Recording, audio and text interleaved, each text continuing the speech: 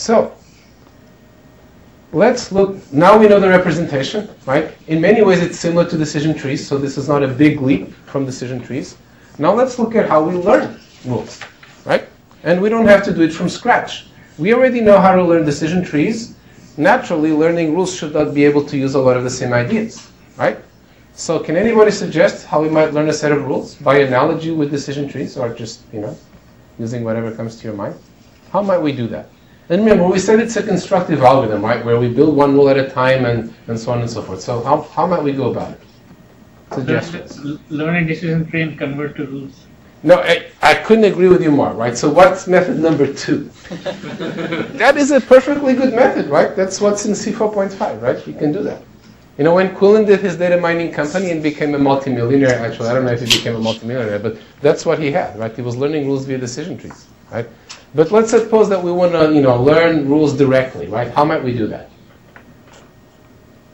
Just start picking uh, examples and make a very narrow rule, and then as you find more examples, like broaden the rules if it makes sense. This is actually one option. We're not going to talk about it today, but this is often called the bottom up or specific to general learning of rules. I actually did my PhD thesis in that, so it must be good. but anyway, right? What short of that method, which is a good one, but you know is not the most widely used one, what might we do? I guess you could start with a rule that uses the least number of attributes and covers most examples. Yeah, exactly. So this is the analog of initially, you know, we, we have a, a, tree that is empty and we pick the root, right? What we're going to do is like, we're going to start with a rule that just has the consequent and has no antecedents, meaning it matches everything. Everybody's a good credit risk. You give credit to everybody.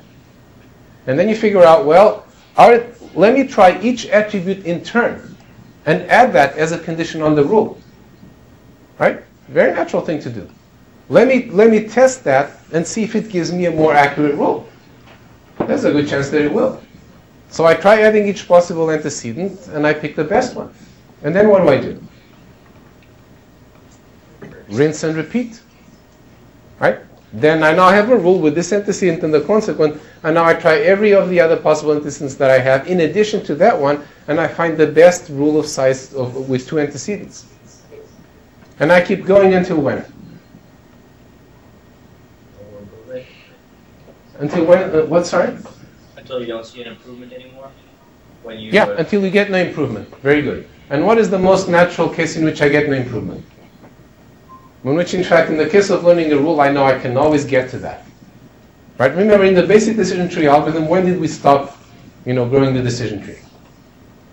When you correctly classify everything. Yeah, when everything on my training set was of the same class, therefore I don't need any more conditions, right? Same thing here, right? Initially, I have a big mixture of positive and negative examples, right? I start adding antecedents, and notice what happens is that I'm adding an antecedent that throws out hopefully a lot of negative examples and very few positive ones, right? So as I grow the rule, I have fewer and fewer negative examples until hopefully I come to, the, to a point where I have no negative examples, right? And my rule only covers positive examples, at which point it makes no sense to try to refine it more, and that's where I stop. Okay? So that is our algorithm for growing one rule. Very simple idea. Okay? Yeah. So what happens if you have two examples with exact same values but different classes? Very good. That can happen. That is actually the only failure case. Right? Notice that as long as I, as long as that doesn't happen, right? All my examples have different values.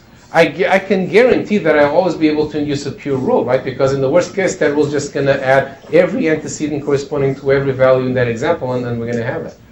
If I have, you know, say three examples like that, and two are the positive class and one is negative, well, the positive wins, you know, and the probability is two thirds.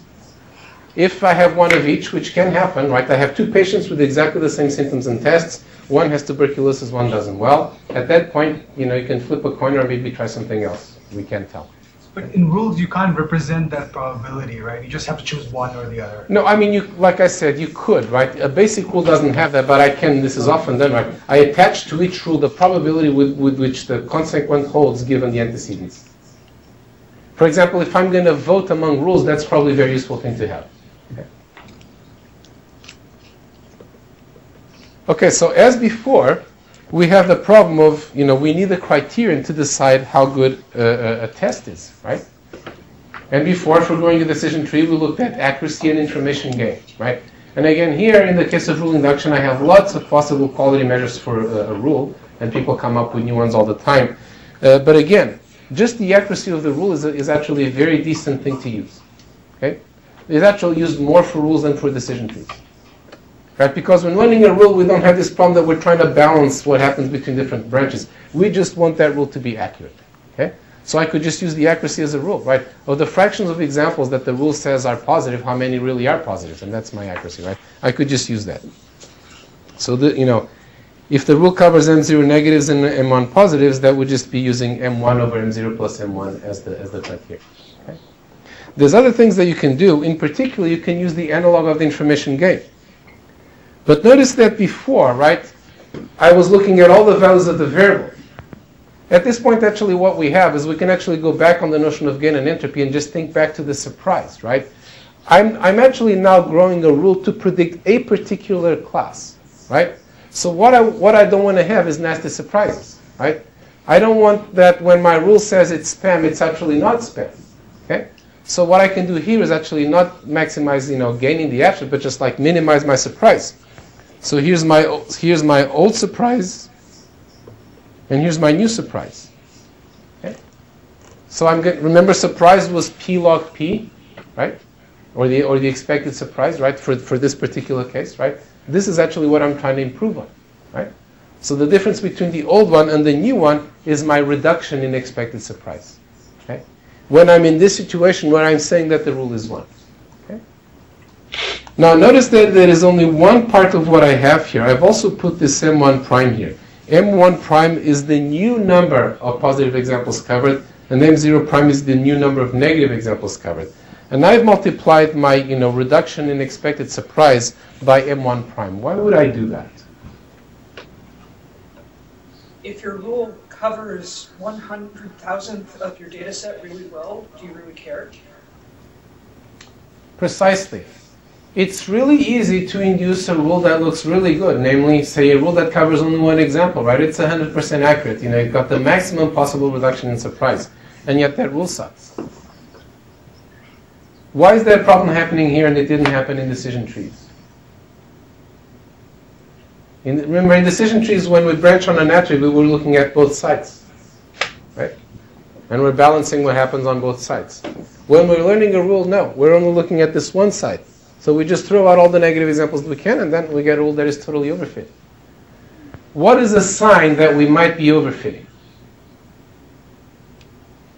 M1 prime gets quite small. Precisely, right? The fewer examples the rule covers, the more suspicious we should get. If the rule covers 100,000 examples and they're all positives, we're pretty confident that, you know, that region that the rule covers is just positive. But if a rule covers two or three examples and they're, you know, they're all positive, well, you know, you flip three coins and they could all come out one. So a very simple thing to, to use, you know, as, as, as, as, a, as a fix for this is to actually multiply the gain by the, by the, by the positive examples that the rule still covers. Okay? We want that to be large. And if, and, if, and if the surprise reduction is big at the expense of making this small, then this rule is dubious. Okay? This is just a heuristic, but it's very important to use something like that. We will see many different ways of combating overfitting, but this here, in a simple way, is one way of combating overfitting. Questions? Okay, so at this point, we know how to induce a single rule. Okay. So with this algorithm as a subroutine, what should our algorithm be for learning the whole rule set? Right, we're almost there, but we need one more step. Right, so I have a black box that returns the best rule that we can find. What should I wrap around that black box to induce a set of rules, not just a single rule? Here's one way to think about this. Okay, I just learned my best rule. Okay, I have a rule now. So what do I do next? So get rid of all instances that satisfy that rule and then pick the next best one. Yeah, exactly, right? I now need to learn my second rule, right? And I don't want to go and use the same rule again, right? But my goal with the second rule and the remaining ones is to account for the instances that the first rule didn't account for, right? The positive instances that were correctly classified by rule one, well, they're taken care of, they're covered. Okay? So what I do is I take those away, and now I have a new smaller training set, and now I go find you know the best rule on that training set. Okay? And I keep on doing this until when? Again, don't, don't worry about overfitting for just a second. When, when should I stop? And all positive examples fall under some rule. Precisely, once I've accounted for all my positive examples, there's nothing left to do. We're done. Okay? And this is our algorithm. Also known as separate and conquer, right? By analogy with decision trees. Decision trees are divide and conquer, right? I divide my set into small and small pieces and I conquer them. In rule induction, what I do is I conquer one piece, I separate that out, and then I go conquer the rest.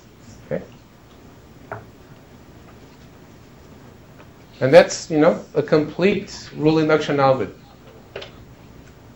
Any questions? Yeah.